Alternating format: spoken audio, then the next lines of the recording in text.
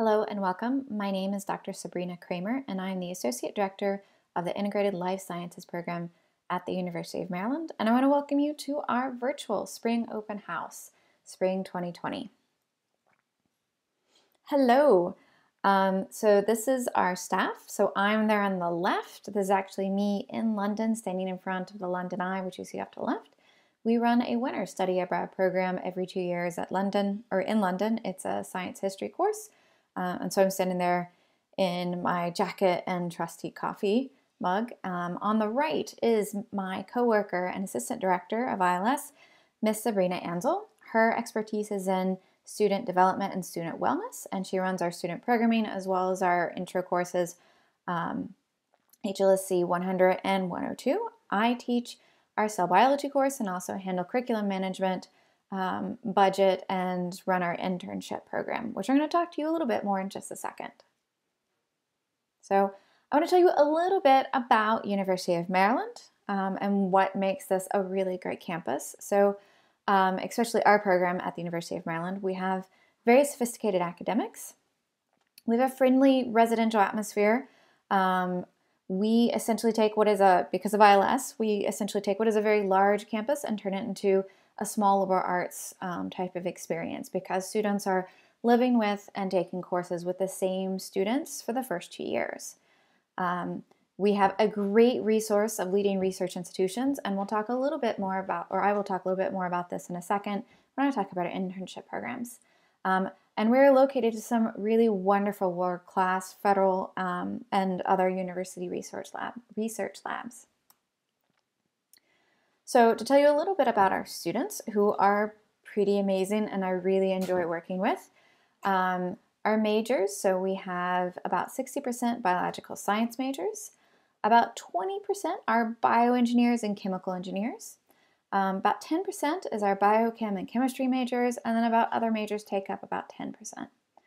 Professional goals. So, about 55% of our students are interested in going on for medical degrees about 5% for MD PhDs, about 14% for PhDs, another 14% go directly into the workforce, and about 12% pursue other professional degrees, which include um, MBAs and MPHs.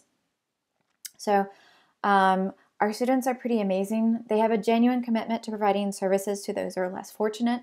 Um, so, we do have a service learning requirement, but that service learning requirement is there because the students came to us and said they wanted that, that they would like that to be a requirement for the program. And so we thought that was a great idea.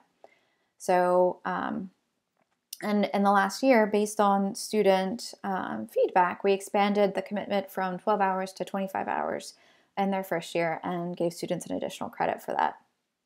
So, but students have done everything from starting their own service organizations, which have run won grand prizes in the UMD Do Good Institute, um, and many of these nonprofits still exist, um, or either as nonprofits or other service organizations. Um, our students are pretty amazing. So they've gone on to win national and international awards. So we have Rhodes Scholars, Marshall Scholars, Churchill, Goldwater, Hollings, Gates Cambridge, which is one of the newest ones. We got a Knight Hennessy, um, a Kennedy Center Award winner, um, we've had two University Award Medal winners. So we've got some pretty amazing students, and I know they've gone on to do really great things academically, but I think some of the things that we're the most proud of is all the service that they have done and the commitment they have to the surrounding community. Um, in addition, ILS graduates have very high acceptance rates into professional schools and do um, very well for themselves.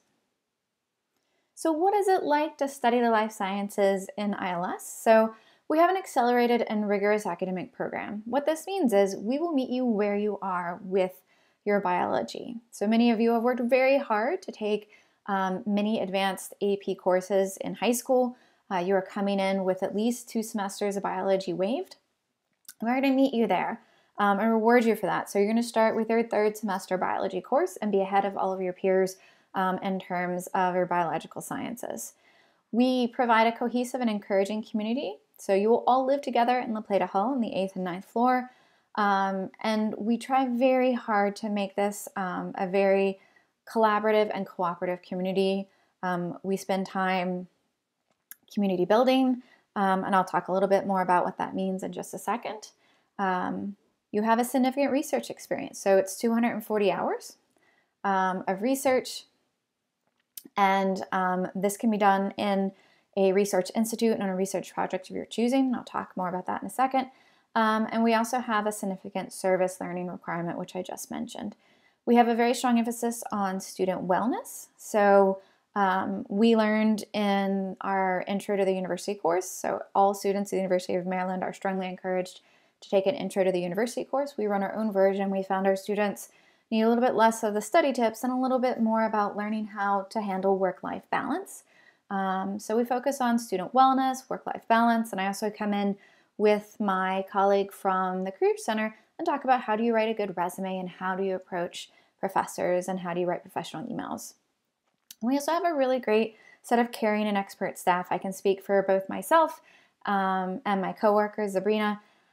We really enjoy working with advising and teaching our, our students, um, and we are very proud of all the great things that they are able to do. So, ILS courses in the first year, students have a pretty set curriculum, and this is on purpose. We found that it's much better for the students um, to get used to the university and worry less about their courses, and they've got a lot more choice in the second year. So, in the first year, students take an Intro to the University course, which is what I mentioned.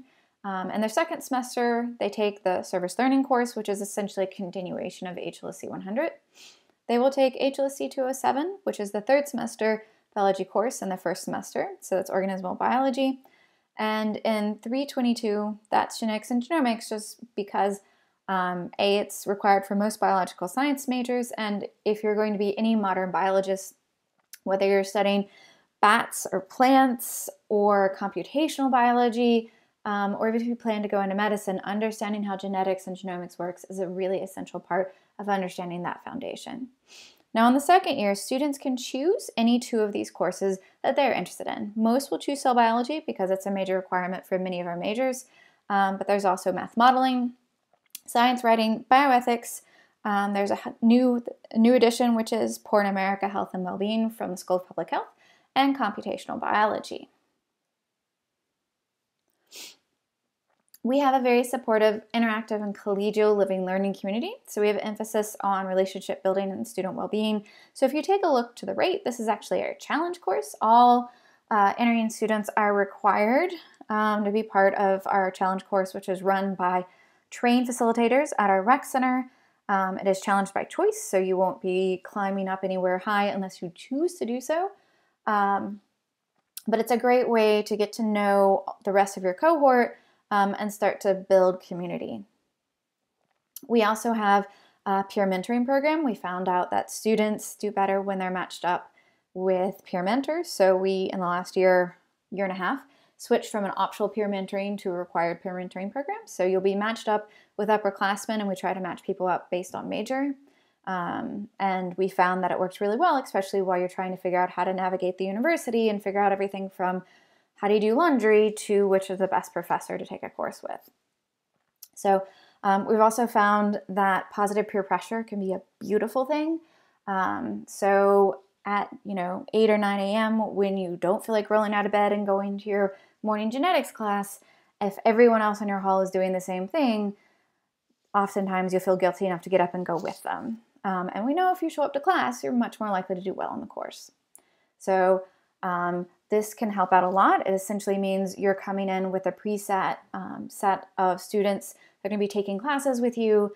Um, and many of the relationships that students build, they keep for many years after they leave ILS. So oftentimes our students will live with each other off campus, and some of our students are still living with each other um, as they go through medical school.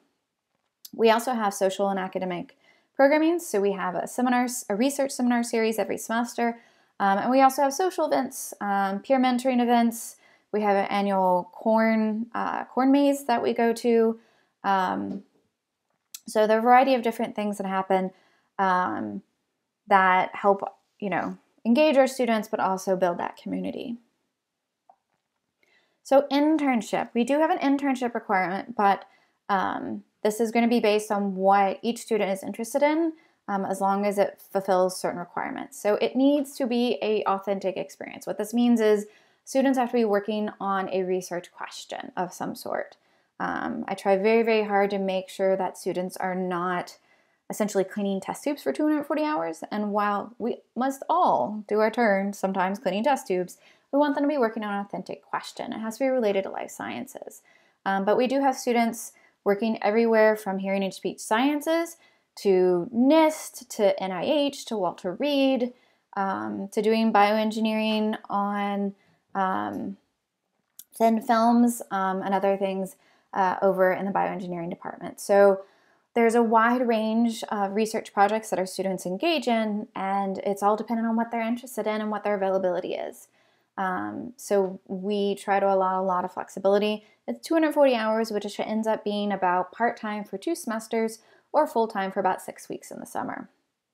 At the end, students put together an e portfolio. Um, don't worry, we step you through the whole process. So um, we step you through the process of um, applying to an internship. How do you approach a professor? How do you put a resume together? Um, I have been running this program for over three years, and I have yet to have a student who was truly interested in finishing their research requirement not be able to do so. They may not get their first choice of labs, but we're always able to find um, a way for them to fill the requirement and do so in something that they find interesting. Um, also, we get to cheat a little bit because we're so close to the DC region. So we have a lot of great institutions around us, everything from the University of Maryland School of Medicine, Hopkins, um, again, Walter Reed, NIST. Um, you have all the different institutes at NIH, um, as well as a variety of different research programs on our campus. So um, again, I've yet to see a student who is unable to find a research opportunity. Service learning. We have a required service learning requirement. So each student will earn one credit for 25 hours of service. They pick their community partner. Um, and the idea is that hopefully they'll choose a partner that they can work with on a long term basis after they leave um, the ILS program. Um, and this includes a variety of different um, alternate break trips that they can participate in, such as our Terps Helping Turtles. So that's our ILS sponsored um, AB trip down to Topsail Island, North Carolina, where we partner with a local um, turtle rescue hospital, sea turtle rescue hospital, and spend a week helping them down there. Um, we also have student created service organizations, um, and the service requirement is unique. We're the only living learning program um, in honors that requires students to complete service. So, I've essentially gone through the major parts of our program, and I've done so fairly quickly. Um, if we were doing this in person, this would be the time when we brought um, our started introducing our students and allowed you to have a conversation with them. And that's not going to work out this year. Um, so what we've done is we set up virtual open houses where you can talk to our student panels about everything from what it's like to live in La Plata to you know how do you manage your schedule to why did you choose University of Maryland over any other school. Um, so this is a great opportunity for you to talk to them and ask them questions um, that our students can answer. And um, again, I think our students are pretty awesome. Um, and I think you'll um, be able to, to have your, your questions answered. So consider signing up for one of our virtual open houses. You can find that on our Eventbrite page, which is linked there. Um, I just uh, pasted in what that looks like. We're limiting it, limiting it to 50 people per open house, so it makes us a little bit easier for us to manage questions. So please make sure to sign up in advance and we'll send you the Zoom link a few days in advance. You can also email us at ils-honors at umd.edu. Check out more about our program at ils.umd.edu. Um, or you can also contact the main honors, our main honors office. Um, I believe they're also running um, a virtual host a student for students who are um, wanted to uh, work with the host a student program and are unable to do so because of um, restrictions this semester. So thank you for your time. I really appreciate it. Again, if you have any questions, please let us know.